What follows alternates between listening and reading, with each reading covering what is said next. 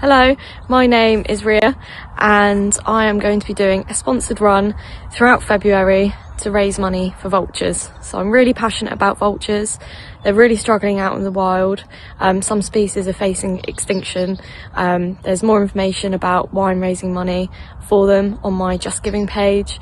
Um, but all donations will go to the Hawk Conservancy Trust and to the International Vulture Programme, um, which I'm really excited about. So it's something I'm really passionate about and hopefully can raise quite a bit of money um, to go to go towards that.